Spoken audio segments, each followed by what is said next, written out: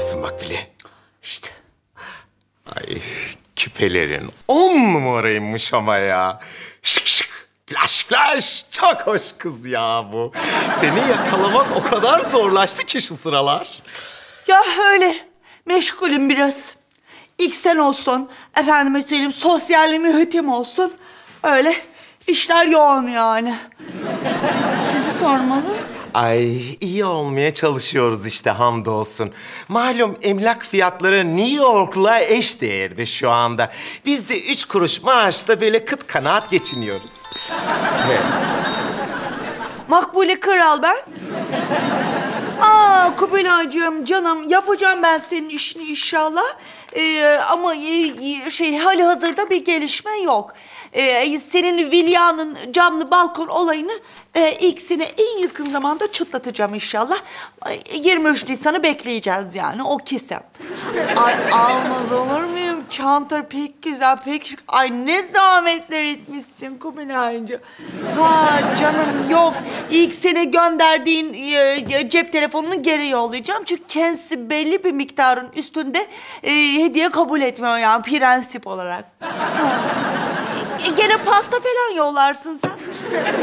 Oldu canım bir görüşmem var ben kapatmak zorundayım. Bay bay, bay bay, hoşça kal. Ay vallahi ben de elim boş geldim ha. Hay Allah kahretsin Burhan Altın topu. Ay anasını. Malum ne demişler? Dünyada mekan, ahirette iman. Makbule Kral ben. Öğle yemeğime hemen bakıyorum. Hmm. Ha, bugün full doluyum. Ya yarın mı? Bir dakika. Yarın 17.30 olabilir. Evet, oldu. İlk senin selamınızı ileteceğim. Hoşça kalın. Bay bay. Bay bay. Sürekli iş takibindesiniz bakıyorum yani. Ya, ne yapacaksın işte? Ee, çok insanın recası oluyor. Ben de insanlık namına yapmaya çalışıyorum. Ay çok hayırseversiniz ya. Sizin türünüzden kalmadı ya. Çok hoş bir durum. Gerçekten. Ee, şey... Ee, şimdi bu... Ee, ilk sen belediyede bir çevre falan yapacak ya şimdi. Hı, girecek ya orada, çevre yapacak. Acaba diyorum bir kelepir arsa. Şöyle büyükçene.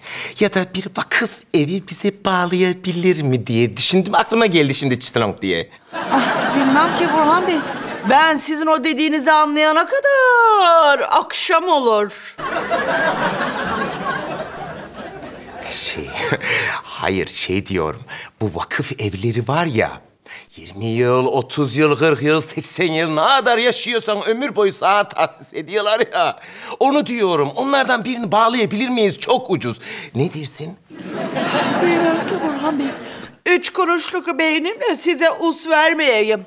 Öyle demiştiniz ya. Ay anasını ya. Hay anasını ya. Güçlü bir mevkidesin diye intikama siyaset seni çok değiştirdi Makbili. Gün olur derman döner Burhan Bey. Elim bozuldu. Şimdi kahveye gidiyorum. Hey, niye kahveye gidip duruyorsunuz ya? Gece gündüz oraya gidiyorsunuz.